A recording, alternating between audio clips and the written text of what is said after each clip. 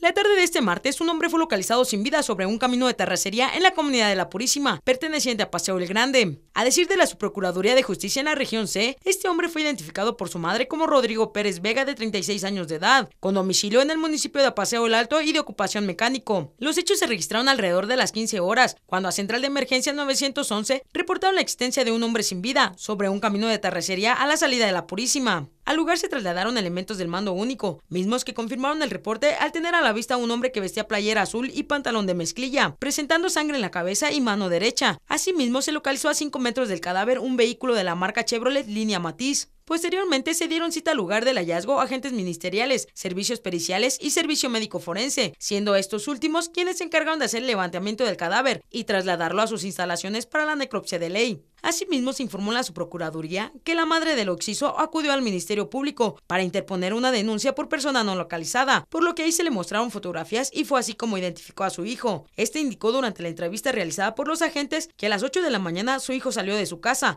a bordo de un vehículo de la marca Chevrolet para comprar unas refacciones. Hasta el momento se desconoce el móvil de los hechos, por lo que las autoridades correspondientes continúan trabajando en las investigaciones.